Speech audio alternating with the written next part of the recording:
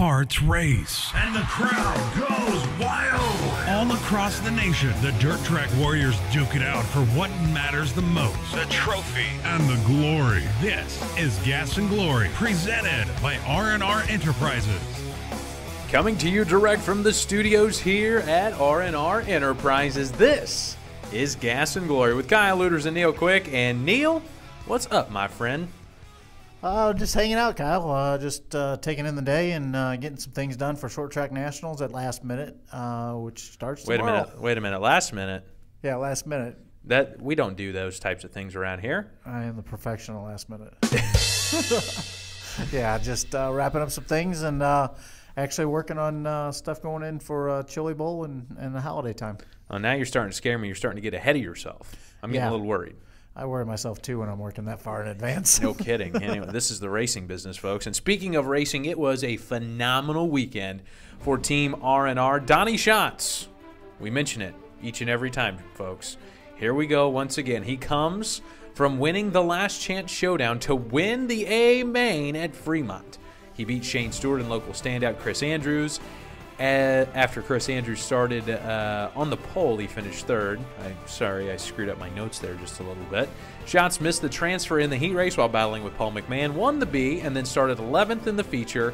It's his 26th win of the season. Neil, unbelievable. yeah, very impressive. Uh, continuing to put up the wins and and in this one, uh, it wasn't an easy one for him. Absolutely not. But as I uh, talk to some of the drivers, if there's a place that you're going to be able to pass and make up some ground, Fremont's one of them. It's a great racy little track, man. It's uh, got several grooves to pass and uh, worked uh, shots at advantage on this one. No kidding, no kidding. He now goes back to back in wins there, has win number 26 on the season. And you know, if we wouldn't have gotten rained out at the Grove, and let's say he could have won it, Oh yeah, we could be getting close to 30 here. I'm just saying. that magical thirty you've been talking about. if we could have gotten to 30, that taco that we bet earlier would have been so, so good.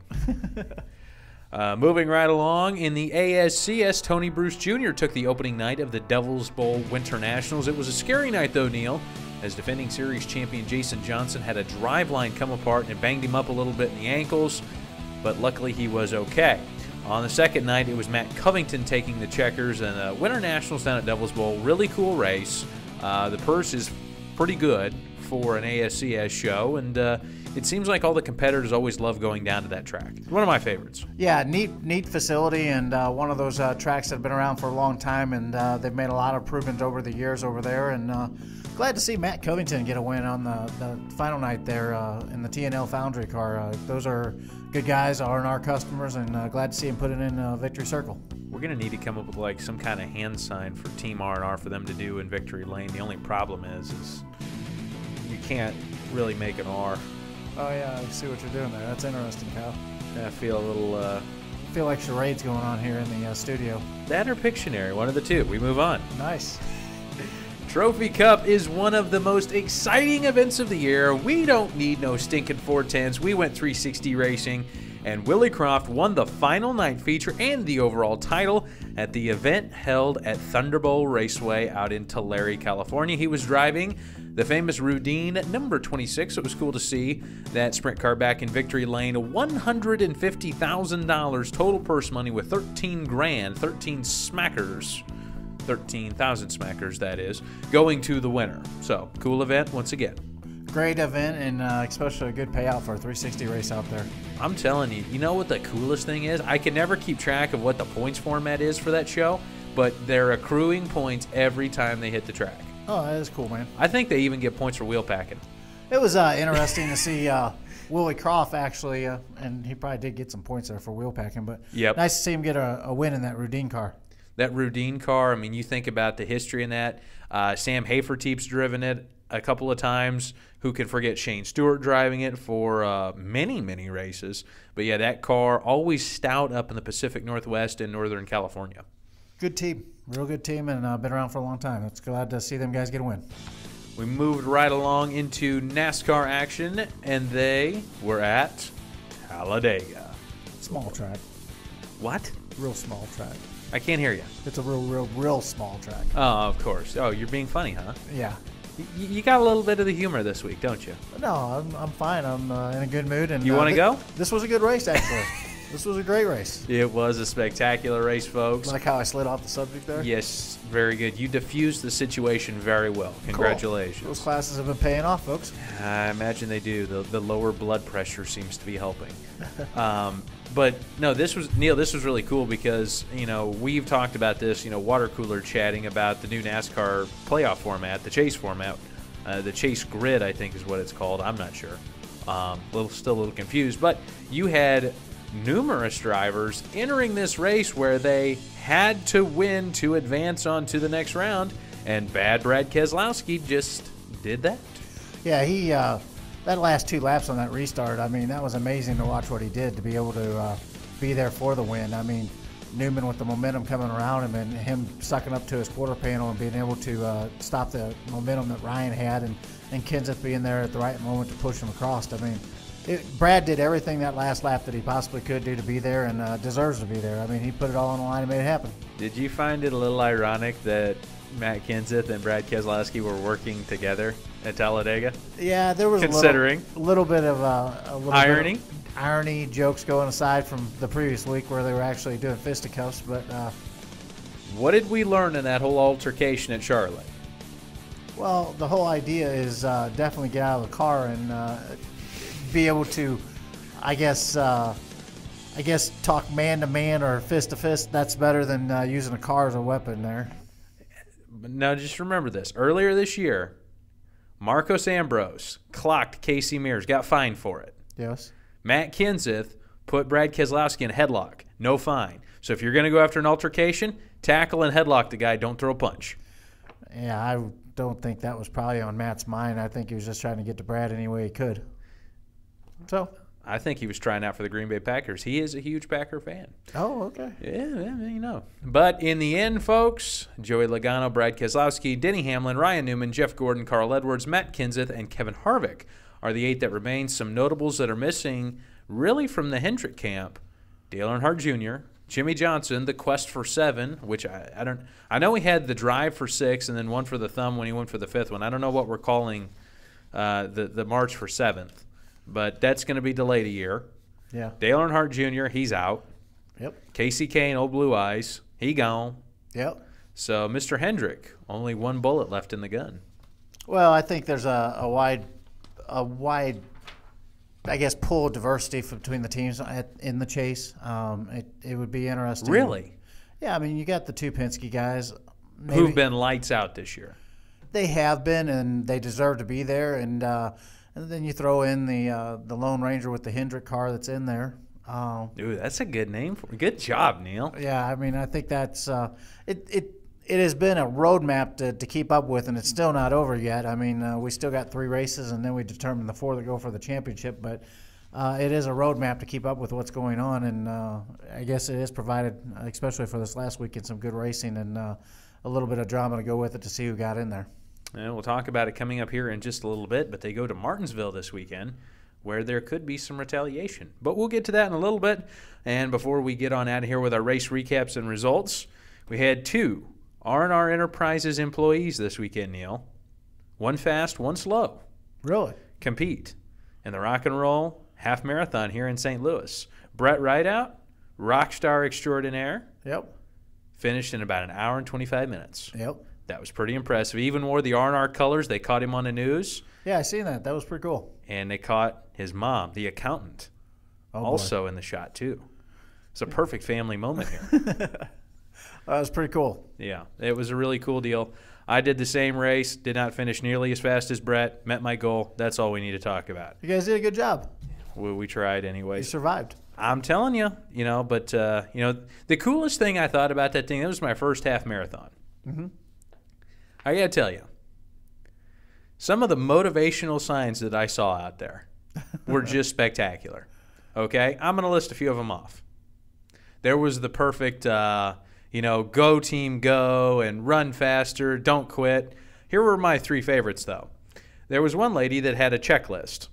On hers, it says, This is what I have. And she said, Coffee, bagels, and a nice seat. On the other side, it said, This is what you have aches, pains, and a lot of sweat. okay, that was number one. Number two, towards the end, there was a guy standing there looking rather sheepishly. Yep. Uh, could kind of tell he was not uh, the uh, maybe what you would call a social outcast or a loner. Sure. He had a sign that said chess is better than running. Really? Yeah, I didn't quite understand that one. Don't get that. And then there were the sorority girls that had a litany of signs that I cannot mention here on the air, but uh, very creative. Well, it's probably well worth uh, seeing the signs in. I almost got distracted. That's cool. About ran off the course. Detour. Detour. Shoot, they were at mile eight. I got a ways back to go. Anyways, but congratulations to all of the Team R&R drivers and competitors this weekend on a phenomenal weekend. And coming up here, Neil, uh, we have an interview, and I forgot to tease this a little bit earlier at the top of the show, but we talked about Donny Schatz and how dominant he's been this year on his way to potentially a sixth World of Outlaws STP Sprint Car Series title. I think he's got it sewn up in the bag, but you know, knock on wood, Yeah. he still has to lock it up down in Charlotte. Yep. Dale Blaney has been another driver that has just had a lights out season. Yeah, I've been pretty impressed with what he's done there with the All Stars this year. and with a new team and whatnot. I got the chance to sit down and talk to him, folks. You need to take a listen to this. A great interview with Dale Blaney. Here we go. And at this time, we'd like to welcome in the driver of the number 14K Kennedy Cattle TI-22 Penske Racing Shocks GF1, the lowrider himself, Dale Blaney. Welcome to Gas and Glory. Dale, how are you doing today? I'm good, really good. Uh, Glad to hear that, and you're obviously doing very well this year. Congratulations on a spectacular season. 20 wins and counting, including one with the World of Outlaws STP Sprint Car Series, and 16 with the UNOH All-Star Circuit of Champions. You capped off your unprecedented fifth All-Star title this year. First, man, just what a year, dude. Yeah, it's been good. We didn't uh, we didn't really know what to expect. We started, you know, George and I stayed together. Uh, you know, Tony Kennedy owns the team now. We kind of switched switched a little bit of stuff, but uh, a lot of stuff stayed the same. So we really didn't uh, didn't have a great idea of how we were going to do. We felt like we were going to do as as well as we have in the past. We got the same cars and same motors, and you know, George still working on it, and same crew. So uh, we didn't really have a whole lot of expectations, but uh, we were going to have some fun and go racing, and uh, I, I guess it's led to some good things. It absolutely has. And that was kind of leading into my next question is you had been driving the number two car with TI-22 and then this year making the move to the 14K machine. Um, obviously, the transition worked pretty well with you guys. How important was it that you and George Fisher stayed together to kind of ease that transition process? Uh, it was pretty key. I mean, George and I worked together for uh, 12, 13 years now. We started in '02, I guess, working together. So we've been at it a long time. Uh, you know, I mean, we don't even have to, you know, talk a bunch at the racetrack. He knows what I like, and you know, I know what to expect with a race car. So we just we, we kind of work really good together. You know, he's one of my best friends in life, and you know, we just you know, we just enjoy being around each other. At least I enjoy being around him. You'd have to ask him that same question about me, but uh, it was really good. I mean, Tony Kennedy's a great guy. Uh, he's been wanting to race a little bit. He's raced off and on for a couple of years. You know, Cole Duncan ran his car a couple of years ago a little bit, and um, used to race himself. So he knows the racing gig, and you know, he just, I mean, he's a diehard race fan, and I mean, he just wants to go racing every week and see where we're at, and we've just been having a good time, and uh, George is, it, it's definitely taken a lot off uh, of George mentally, you know, just by working on the car instead of, you know, having to drive the truck and trailer to the track and uh, get his credit card out and put gas in the truck and pit passes. It's it's really freed him up a lot to just work on the car and concentrate, and it's pretty much showed this year how we've done.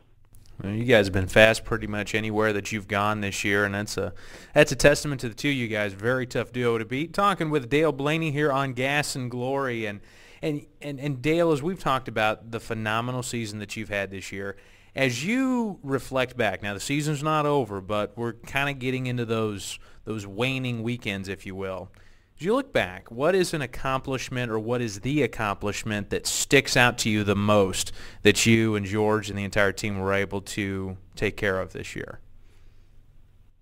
Uh, I don't, uh, it's hard to pinpoint. You always, you know, at the first, at the beginning of the year, I always feel like if I win an outlaw race during the year, I've accomplished something, and we did that.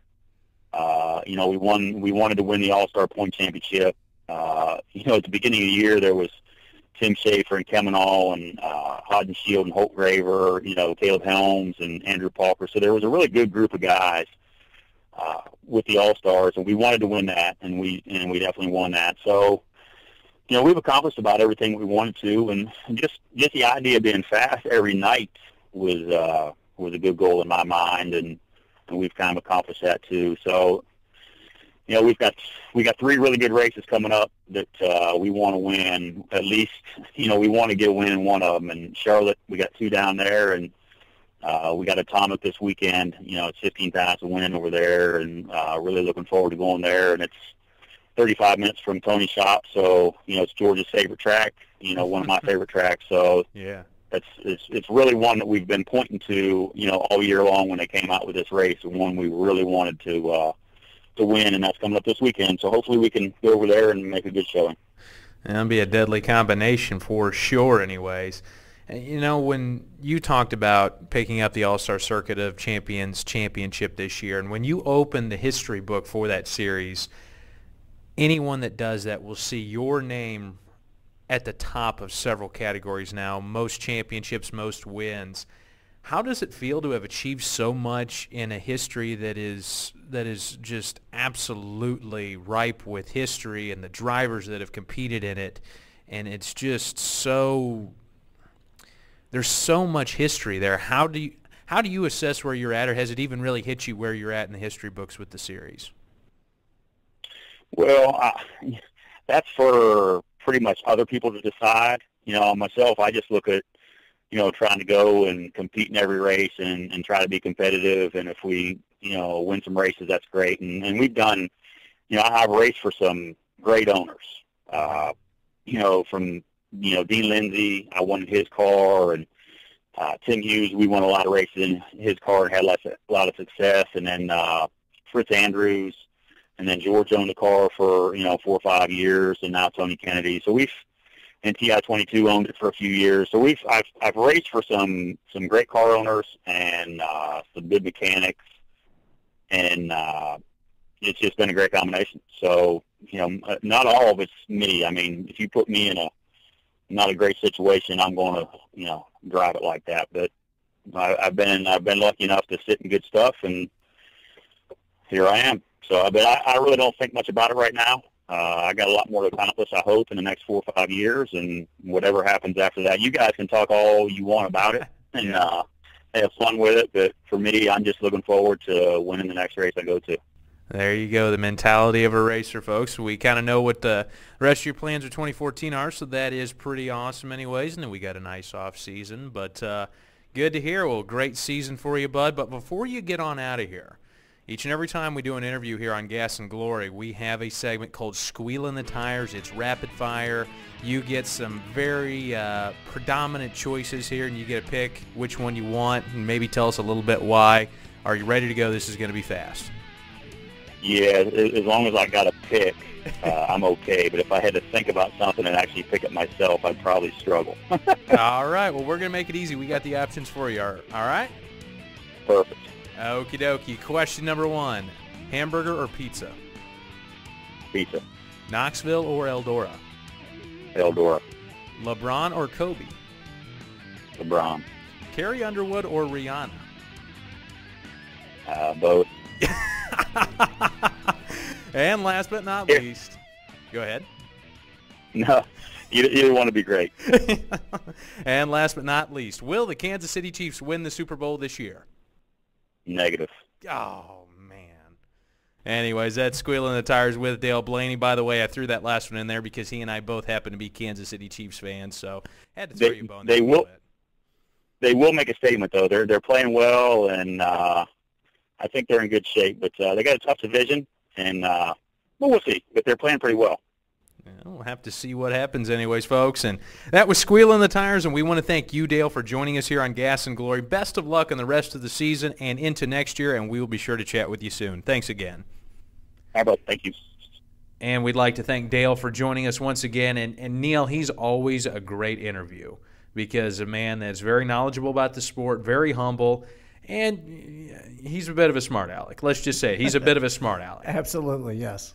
You know, uh, earlier this summer at um, earlier this summer at Knoxville, he tried to give me a very special birthday gift, and it, it did not go over well. I, I rejected it immediately, and uh, that's.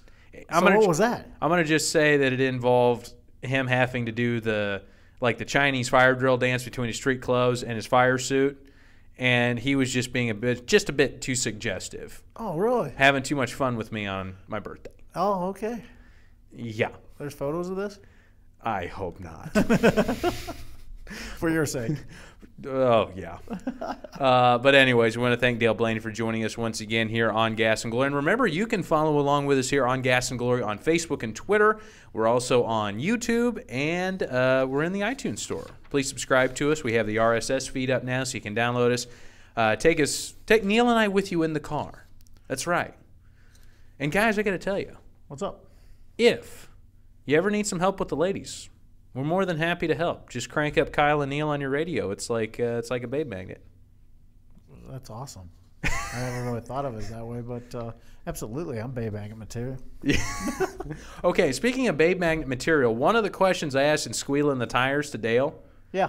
was would he choose Carrie Underwood or Rihanna? I want your thoughts. You know, I'm kind of, I'm going his way. I'd take either one right now. You ta- That's not a choice. It's either A or B. It's not A, B, or C. I if I had to choose one, I'd probably go with Carrie Underwood. Very good. Good Yep. choice. Good choice. So, and now with that, now that we know Neil's preference, we move right along into the preview for this weekend. The World of Outlaws STP Sprint Car Series returns to Port Royal Speedway for the first time since 2004 when, you guessed it, Donny Schatz won. Ding, ding, ding, ding. Yep. Look for the locals to be very strong up there. And uh, I would say uh, a Don Kreitz Jr., Greg Hodnett, Lance Dewease, Stevie Smith. There's four drivers right there that I would really keep an eye on. Yeah, that, uh, you got again going back to PA. It throws out uh, a lot of the possibilities for the locals uh, to take and steal win from the World Outlaw guys. They want to steal the Outlaws' money. That is for sure. It's a big track, Port Royal too. Oh my gosh. You know, we talk about half miles like Eldora, Knoxville, and Williams Grove. I remember going to Port Royal and standing in turn three and just seeing how much speed the cars carry into the corners. They look like they're going 20 miles an hour faster than the other three tracks I mentioned. Yeah, it's uh, just a It's big. freaky fast. Yeah, it's a big old friggin' half mile, and it's bigger. I mean, it's Williams Grove's more like a paperclip. This one's more spread out, got wider turns, and of course they can carry more speed into it. But uh, neat place. very neat place in this race. Uh, you know, on the fairgrounds. It's not going on during the county fair, unfortunately. Otherwise, you'd be able to enjoy some excellent fair food. Which, by the way, I was calling a football game Friday night. Yeah. And I don't know how they were doing this, but it was almost like they were piping in the smell of funnel cake to the booth. Really? Yeah, I, I'm gonna have to check on that. But if it was like an air freshener, Yeah. I'll get one for your truck. Great. That's what I need. Uh, moving right along, short track nationals are up next for the ASCS series down at I 30 Speedway in Arkansas. Don't they call that the ditch? No, no, no. That's the Memphis deal. That's uh, Ah, that's what I was thinking. That's yeah, what this thinking. ain't the ditch. This is I thirty. The speed bump? Yeah, no, Okay. it's not the speed bump either. It's not the speed bump. But this is a great weekend for them with uh, short tracks coming. I mean, this is an event that everybody looks forward to uh, every year, and definitely, uh, it's usually kind of. We've had some uh, guys that were breakthrough standouts, like uh, Christopher Bell made a name for himself a couple years ago there. So, very interesting to see that. And I know we've got a couple guys down there we're pulling for. I know Kevin Swindell in the uh, Cooper Racing 01 car this weekend. Yeah, we're going to uh, we're going to have those shirts available online, folks. You can pick them up down at the track, or you can get them online at r-raceware.com. I'll let you know uh, when we have those up. But yeah, short track nationals, uh, a very prestigious event. Been lucky enough to follow it for the, probably the last three to four years. Another great 360 event here in the racing community. And NASCAR is at Martinsville. Could be uh, time for some retaliation. Getting on the old chrome bumper horn there, Nilo Quicko. Yeah, a little bit of bumper cars usually is the way to go at Martinsville, and uh, kind of similar to the way we do some racing there, Kyle. Uh, You know, I wasn't going to get into that, Of but not, now that you did, we we don't play bumper cars. No, we don't. We play demolition derby. No, usually one of us is uh, sitting there wrecked on the infield. Do you remember the time that we all raced Talladega? And- Which time? Well, now hold on. I Because was usually it's it's a smoking pile of heat for somebody, and usually it's two or three of us down at the bottom there. well, I, I- I still remember the time you got flipped across the trioval. Yeah, that happened. Uh, and then I remember the time that uh, I was trying to, I'm not sure what I was trying to do, but down the backstretch, I went from the bottom to the top and didn't realize that there was a car up there. Yeah, I think I was uh, I was I had the best seat in the house for that one. I'm, I'm watching it, and you just did a right turn, and poor old Ryan on the outside. I think he got a door ding on that one. Door ding, shifted the front end over, radiator dislodged. Yeah, he wasn't too pleased with that move. Oh, it's uh, always something there, Kyle. It is always something. That's why I stick to two legged races instead of races with four wheels. Oh wow. But uh, also, before we get done with previews for this weekend, there will be a very big store announcement coming this weekend, folks. Uh, stay tuned on Friday morning. That's when we're going to announce it. You're not going to want to miss this. We're kicking off the Christmas shopping season early this year. We've got a huge announcement. So make sure that you've got those pocketbooks ready. Those credit cards are ready to melt because Freshly to, ready to tap out there. Oh, yeah. We've got a good announcement for this weekend, but tune into our Facebook and our Twitter pages on Friday morning at RNR 95, and we'll let you know what we're going to be doing because it's, uh, what, what does Donald Trump say? It's going to be huge. Oh, really? It's going to be huge. Cool. I'll check that one out. By the way, Yeah. you're fired. Nice. Third time today. All right, now it is time for a segment here on the show that we have come to love. It is called Did You See That? Each and every week, Neil Quick and I find something cool, unique, and interesting from the racing industry as a whole. And we ask, Did you see that? So I'm going to go first here today. We go back to Trophy Cup this past weekend out in Tulare, California. Enrico Abreu and Jonathan Allard with the awesome move, the ultimate show of sportsmanship, pulling Tim Kaeding out of what looked to be a fiery crash. Neil Quick, did you see that? Yeah, I did. I thought that was pretty impressive. And as fast as Rico got out of there to get Tim out of the car, and Jonathan was right Oh, there he too. was fast. Yeah, it, it was. He was almost faster than what he was racing around there. Yeah, it was. Uh, it looked like a pretty nasty spill that TK had, and uh, flame shooting out of the car, and Rico got out of there, and uh, man, for a little guy, he got out of there, and made it happen really quick. It was amazing to watch, and that is my did you see that for this week? Yeah, it was uh, good to see. Great sportsmanship between all the drivers, and uh, glad to see that uh, everybody came out okay there. So, my did you see that, Kyle? Okay. I'm ready. Okay, I got to watch between the NASCAR race and uh, a few football games and uh, some other racing. The Monster What kind of cable package you got? I, I'm not sure. I have to look into that. I just know I got a lot Like of channels. Ultimate, Platinum? I have no idea. You know, that's right. You do have kids. So it's probably like a combination of Ultimate and Platinum. Yeah, I, I'm sure we got plenty of stations. I flip through until I find something. But uh, Saturday night, Monster Energy Cup from Las Vegas. Kind Yeah. of a kind of a prelude for the uh, 2015 Supercross season. Uh, great to see them guys back in action and uh, impressive. Uh, Trey Canard uh, goes out there and, and on the Monster Energy Cup deal, the format uh, for the races is pretty drastically different than a normal 20 lap main for the uh, Supercross riders. You get your heats and then your main during the, the regular season. This was a uh, deal where you have three main events, three 10 lap races.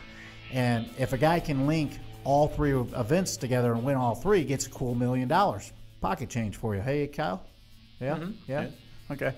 Well, Trey Canard goes out and wins the first two races and running a third, fourth lap of the uh, third race all over the top of Millsaps. Uh, Davi Millsaps riding for Team Kawasaki this year. Trey still riding for the uh, Team Honda Muscle Milk team. Uh, pretty impressive. Getting ready to put a pass on him coming out of the new section coming into the stadium. Yeah. Clips a tough block. It goes down. Oh. That's a hard way to lose a million. Did you see that? And we're taking a look at it right now. Oh, oh. Pretty ugly, eh? You used to take spells like that back in your earlier days, didn't you? Yeah, but I was never in a hunt for a million dollars, buddy. You would run that hard for five grand, wouldn't you? I'd run that hard for 500 bucks. Oh, jeez. oh, man. Well, folks, that is Did You See That? Uh, a segment we really come to love now that we've got rid of Squeal or No Squeal. I know you're happier about that. yeah, it's. Uh, I think that's kind of neat to see, and uh, we may bring Squeal or no, no Squeal back. Squeal or No Squeal? Well, we got squeal in the tires, so there's still some squealing going on around here Oh, nice. on a, on a daily basis. Oh, that's cool. Speaking of squealing, before we get on out of here, now Neil, it was heartbreaking that we, the people of St. Louis, are not getting to partake in a, uh, a fall classic this year, a World Series. Oh, so you're making reference to the Cardinals losing to the Giants well, now I. I, I am sharing in the pain here. Okay. I am sharing in the pain because as a as a resident of St. Louis, and as somebody that has traversed 13.1 miles of this city Yep. on foot, Yep. I am a fan. But I have to ask you, since you uh, you were a baseball player, you're a baseball fan, you moonlight as a baseball coach. Yep. I need your professional, expert, somewhat weird take Okay. analysis, if you will, on the San Francisco Giants versus the Kansas City Royals. Well, I'm, I know the series starts tonight, and I'm really excited about it. And I'm very excited for the idea that Kansas City made it in for the first time in a long time 29 years, I guess, is what I'm hearing. Yep. And being a Cardinals fan this year. Before I was born. Yeah, definitely. Uh, but going back to that, Kyle being still in his infancy here.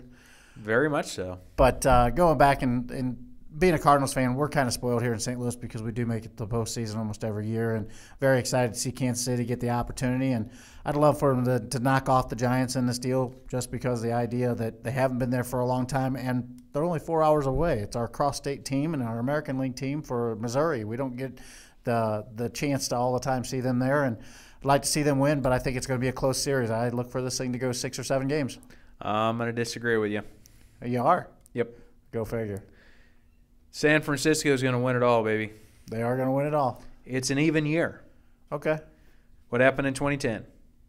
Yeah, I, I know they won. What happened in 2012? They won. And what year is it now? 2014. Boom. Mr. Shannon agrees with me.